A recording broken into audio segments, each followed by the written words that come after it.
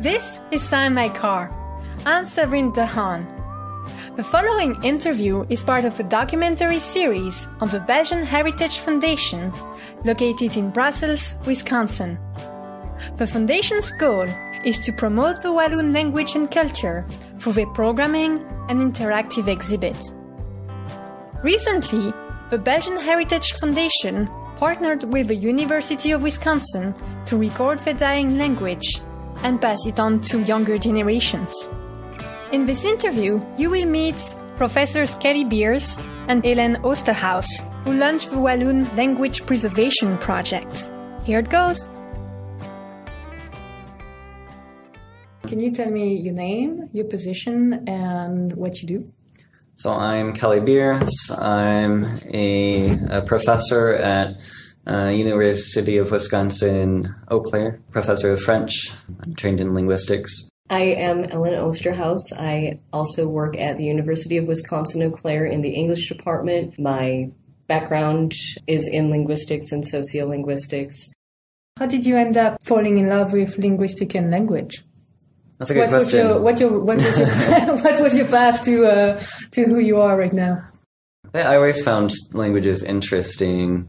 In high school, I took French and German. My sister had studied abroad in Japan, and I always wanted to do everything that she did, so I decided I was going to study abroad too. And eventually, I went with French.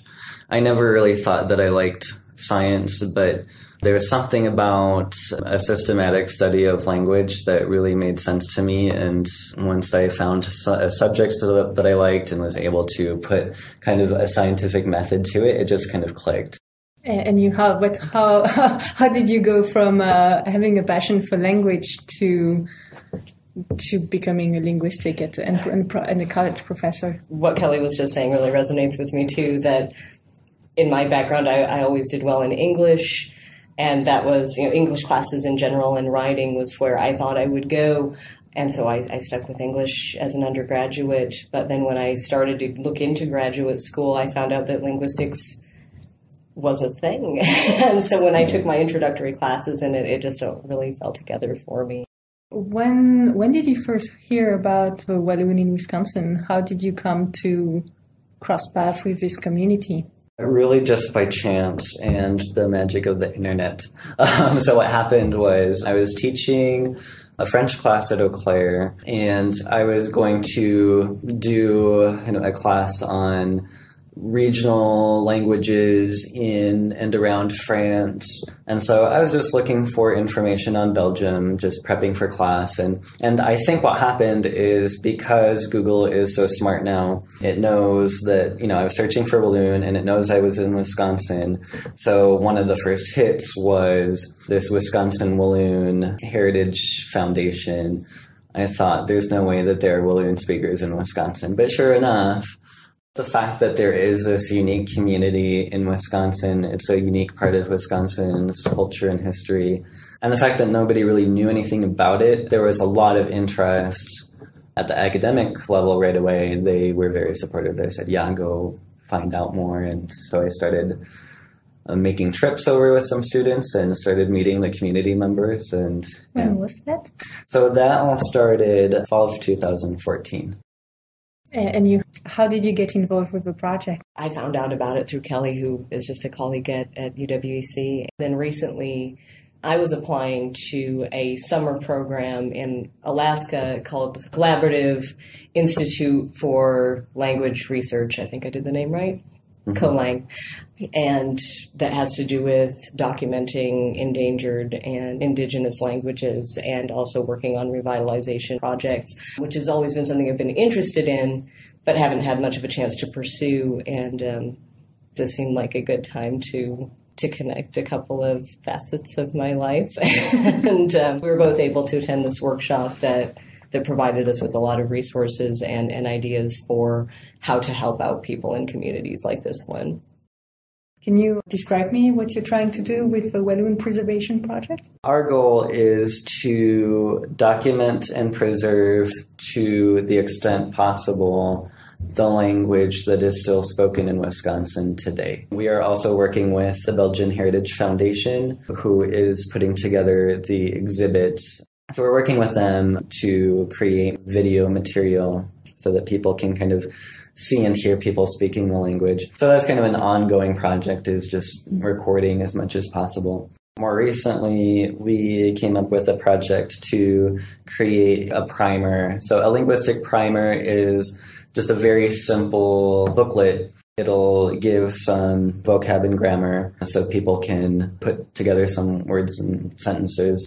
So it'll explain what the language is, how it got over here to Wisconsin, just to give people an idea of what the language sounded like, some of the humor that's embedded in the language, some of those things that could potentially be lost. So the idea is to have a written record of the language that can be passed down from generation to generation. What is the biggest challenge for you with the Walloon Preservation Project? The biggest challenge we face immediately, we have to be able to write down the language. There wasn't a written version of Walloon until 1900, but most of the immigration happened in the 1850s. So people came over here without a way to write down Walloon. It was just a spoken language. And the writing systems that exist in Belgium are based on French. And so it just looks so foreign to a native English speaker that it, it just creates an obstacle to want to figure out how to, to read the language. So we're trying to come up with a system that makes sense for a native English speaker.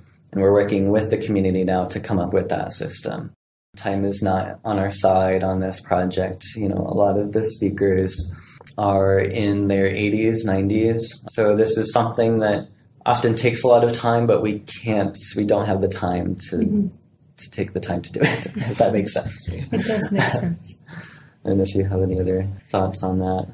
We have this situation going on right now where the native speakers are kind of realizing that they're they're not going to be passing it along for much longer just you know that their children don't speak it. But a lot of that generation of their children is starting to feel i think a sense of regret that they didn't speak it more growing up. You know oh it's something that my parents and my grandparents did. For younger generations to see that motivation for people who are saying i wish i had grown up with more of an interest and an engagement with the language that that's something that can create more of an internal impetus which is really what we'd like to do is to raise awareness within the community because it's one thing for us for, as outsiders to say, "Oh, hey, this is cool," um, but it's it's another thing to to help people to see the resources that they already have yeah. available. It's right. not already gone. It's not it's, gone yet. There's right. multiple roads. Yeah, ahead of us. You know, for native speakers of English or you know French, you know these major world languages, we sometimes take for granted how intrinsic language is to everything that we do. Whereas speakers of some of these smaller languages are really faced with a situation where this part of their history and culture is on the brink of you know, dying out. And there's so much history that's embedded within a language and culture. So imagine a tower a circular tower that has windows on each floor and all around the tower. Each window would represent a language, and looking through that window, you can see the world in a different way and have a different way of describing the world that is out there. Losing a language is like closing one of those windows, and you have just one fewer way of looking at the world and describing the world around you. And I really like that metaphor, and I wish I could remember to attribute it to. Anything to add? This is, I, am going to borrow somebody else's beautiful metaphor, and I'm afraid I can't remember who to attribute it to. but when I was, we were at this workshop that I went to over the summer, we were speaking with members of a community that their language is endangered and doesn't have a lot of support, and they're working hard to create awareness and, and raise support. And and in the class, we were talking about how English speakers often tend to view their language is kind of a tool when we talk about it in terms of utility and functionality. And you know it's useful it's a resource. And one of these speakers of this smaller language said wait so the metaphor that you would use for your language is like it's a spoon that you use to stir stew. And we're like, sure, that works. And she goes, that is the saddest thing I've ever heard. and it broke her heart that that was our metaphor for what English can do. And um, I think that, that that kind of relationship between your language and identity is something that you're only going to realize when you have Mm-hmm. that that restricted community of speakers and you're going to start to see how valuable it is unfortunately in those situations where it's under pressure. What is the reception from younger generation to your project? In general, when we've come across younger community members, they're pretty receptive to the project in general. There are mixed levels of motivation to maybe learn the language. There's kind of a sense of this language is going to die and there's nothing that can be done about it. So, what we're trying to do is show people that there actually are things that we can do to keep the language around in some way. The book is one way of doing that. We're trying to dream big at the same time and think about in the long term could it be possible to actually revitalize this language?